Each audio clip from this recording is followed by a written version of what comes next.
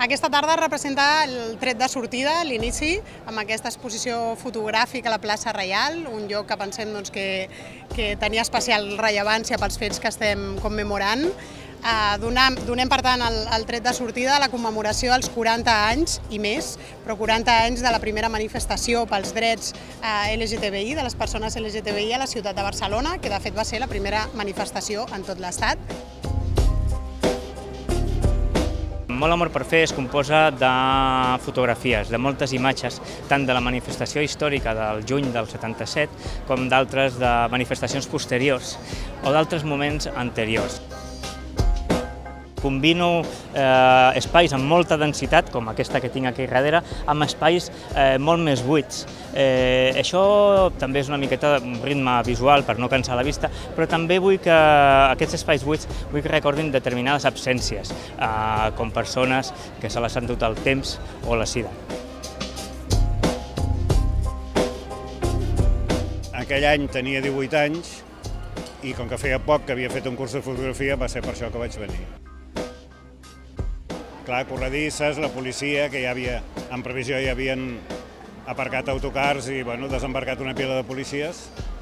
suposo que per reprimir, evidentment. Jo la imatge que recordo més així era el, uns que es veuen a les fotos, que, que anaven amb el cul a l'aire i un amb els pits en l'aire, que clar, en aquelles èpoques això no eren unes imatges massa, massa habituals, i era sorprenent doncs, de veure que la gent s'atrevia a fer això pel carrer, no? Jo no hi vaig poder anar, jo era el secretari general del FAC,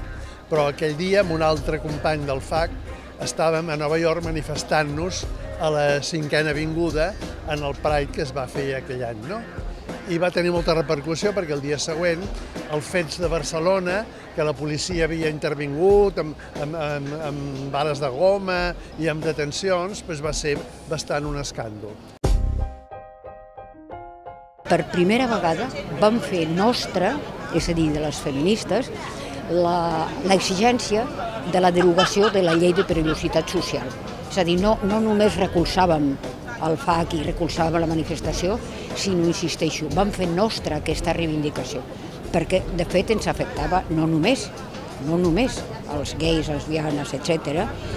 sinó que ens afectava com a dones en general, perquè aquesta llei de perillositat social va ser una llei espantosa. els drets, les llibertats, el benestar del que gaudim eh, les persones que tenim entre 25 i 40 anys es deu a que fa 40 anys hi va haver molta gent que es va manifestar i que va sortir al carrer per dir que estimava d'una altra manera. Em sembla molt important que les generacions que hi ha hagut després fem coses per demostrar eh, el fet d'estar en deute amb els que van lluitar quan més difícil i més necessari era. Amb la penjada del panó, des del balcó de l'Ajuntament, celebrem el Dia de l'Alliberament i de l'Orgull LGTBI